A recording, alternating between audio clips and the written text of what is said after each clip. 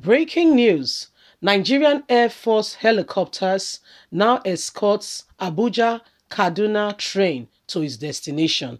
How much the train ticket could be? Remember, say bandits, yeah, they come, they destroy the train, the train track, they shoot at the train, blah blah blah blah blah. Make I tell you one thing when it happened. Nigerian government come come to say no be bandits. I don't know why, why they are protecting them and giving them what we call immunity, hiding them. They came and they told Nigerians what we are telling you about, what we are saying about Shehu Sani, a former senator, was on that train.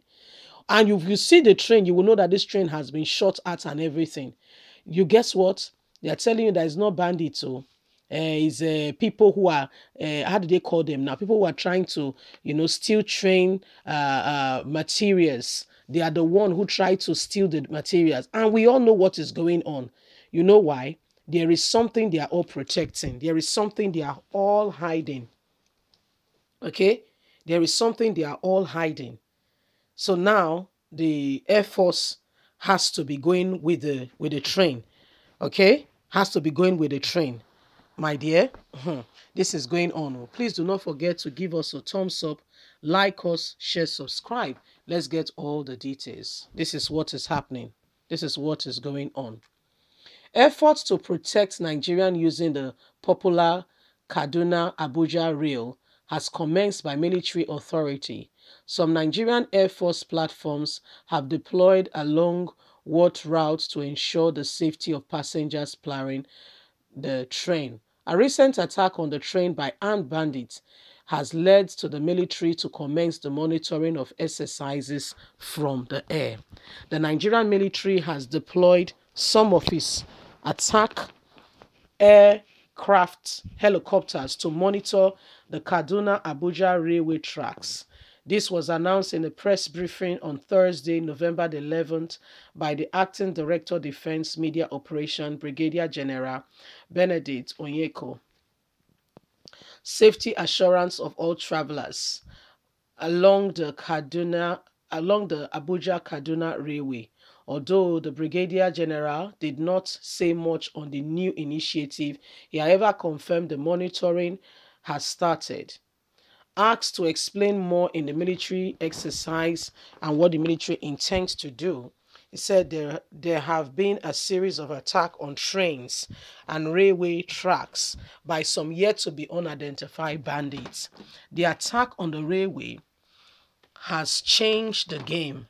Two recent attacks on the Abuja Kaduna Railway occurred on the 9th of Wednesday, October the 20th, on the early morning of Thursday, October 21st. Rising alarm over the incident, a former lawmaker who represented Kaduna Central in the 8th Senate, Shehu Sani, said the bandits has planted some explosive on the railway track. According to Shehu Sani, the explosive planted by the bandits damaged the portion of the rail track, preventing the movement of train along the Abuja-Kaduna rail. Sani called on the federal government and the leadership of the rail of the Nigerian Rail Corporation to take action against the bandits. Still, nothing has been done. Shehu Sani, they waste your breath, so they have an interest in it, so nobody will say anything.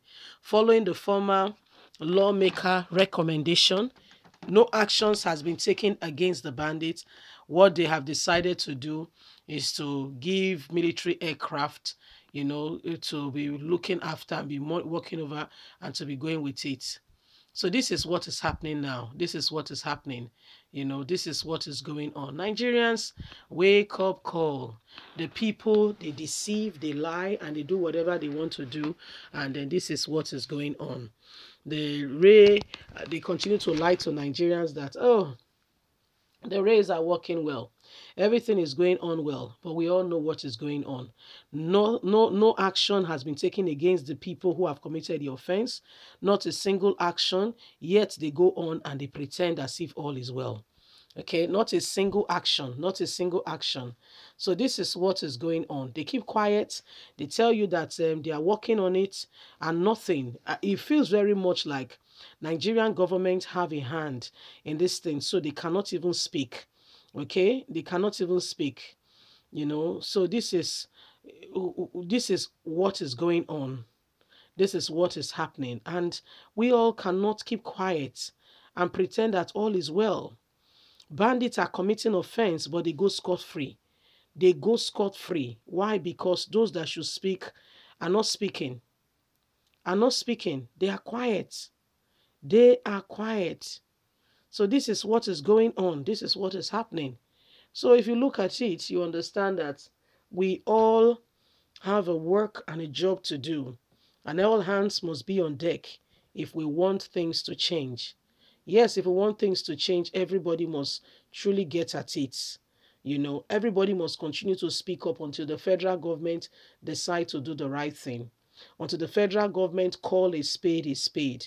These people coming in needs to be tagged terrorists. They are coming all the way from Syria, from Libya, and from everywhere to come and destabilize a country. And yet you are playing hanky-panky game with them. What do you think will happen? What do you think will happen? You know? So this is what is going on. The i mean thank god shehu sani was on the train the day that thing happened. If not ah we would have heard different stories okay? They will not believe they won't believe you know the people. And they would rather say and the people are just saying something they are just you know as they would normally do they are saying nothing particular. So this is what is happening. Thank god somebody else was on that train you know to tell nigerians exactly what is going on you know, this is it. You know, the trains now are now being followed. Imagine how much would the train ticket be? Then you get a pilot, you pay the pilot, they'll put, they will do, they, they'll fuel the, the, the helicopter, they will do this, they will do that. So how do we sort out this issue? How do we sort it out? There is nothing truly called transparency, accountability, and reality. All we have is called a deceit, a real deceit. God help us. God help us because um, we things have to change. Yeah, things really have to change. Uh, the deceit in the government and the lies are just too much. They are just too much. Okay, they are just too much. So this is what is happening. This is what is going on. Uh, Nigerians, it is a wake-up call. We must all rise up and we must all, you know, say the truth as it is. You know, uh, God has just have to help us and show us mercy you know leave us a comment. We'd love to hear from you you know. Please don't forget to like us share subscribe. Click on the notification button so you can get all our latest news. God bless you. Have a lovely and a fantastic day. Bye for now